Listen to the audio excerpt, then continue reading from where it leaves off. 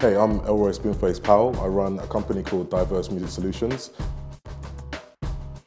So I started as a musician. In 2000, I had a, had a number one record, You See the Trouble With Me, which was great, um, traveled extensively, and I got to get a real insight into how the industry works uh, from a real mainstream kind of perspective and also from building from the grassroots. So I then decided to set up a social enterprise to assist people that maybe are not going to get a number one record, but are really talented and want to make a career from what they do. So we started looking at publishing, I started going on trade missions, and um, my journey evolved also from there as I explored different sides of myself. So I'm acting, I'm a voiceover artist, I do martial arts and a lot of screen combat at the moment. So um, I guess I just like to uh, develop my skills and keep it moving. Oh goodness me, I've had quite a few jobs.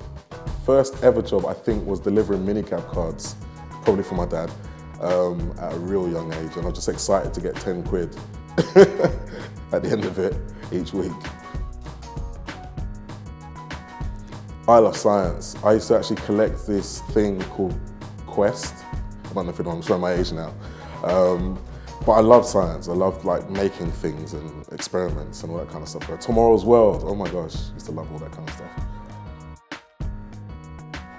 Oh, when I was growing up, I wanted to be a lawyer. I um, I really wanted to get stuck into shouting at a judge in court um, and slamming books down on desks. But um, I got an opportunity second year in university to do the Black Legend thing and never looked back, just carried on uh, in the entertainment industry.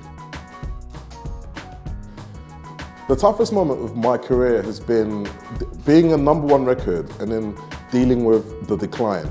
And I openly speak about this when I do workshops and such because um, at the time, it's the scariest thing in the world, but it's okay. You're gonna, it's gonna, you're gonna be okay. You're gonna work out something else to do, um, and it might not be another number one record, but it's something else that makes you happy